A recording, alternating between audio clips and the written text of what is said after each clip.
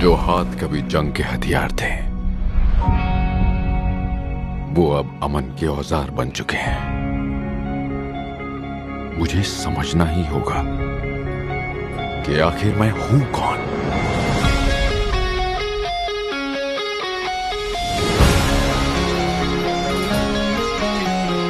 मुझे अपना रास्ता खुद चुनना है, इस पल में जीना है।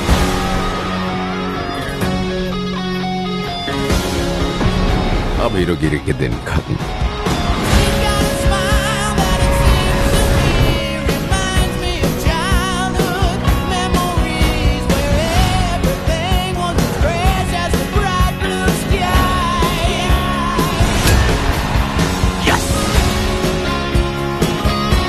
मेरी बात याद रखना।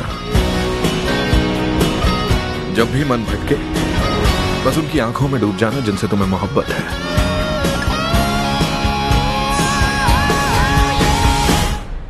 मेरी नहीं। क्या? बस सुन रहा हूँ।